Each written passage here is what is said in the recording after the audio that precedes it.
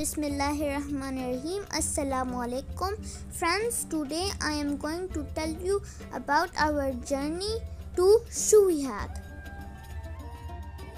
We decided to visit Shuweihat by just seeing pictures and reviews on the internet and want to witness its beauty in picture the place is looking very beautiful to visit.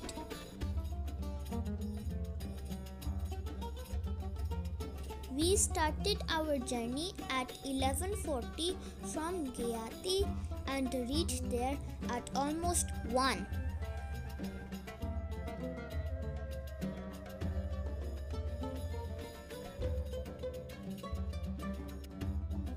But to our wonder, it was really difficult to spot where exactly is the beach.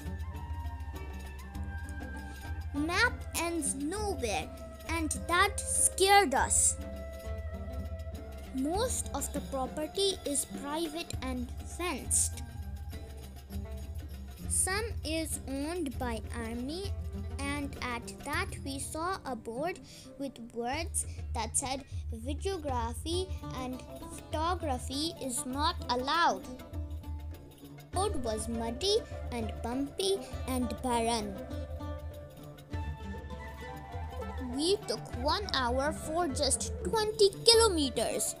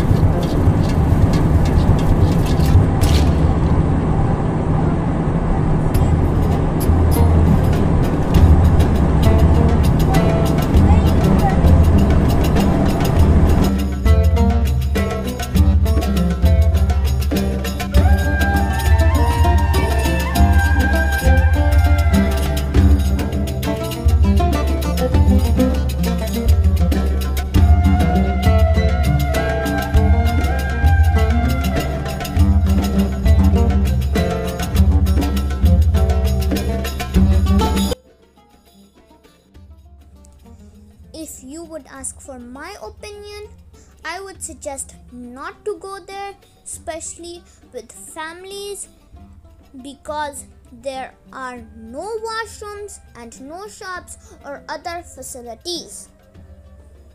There are a lot of other great places in the UAE to visit without risking of getting in trouble. Hope you liked today's video. Take a good care of yourself. Allah Hafiz.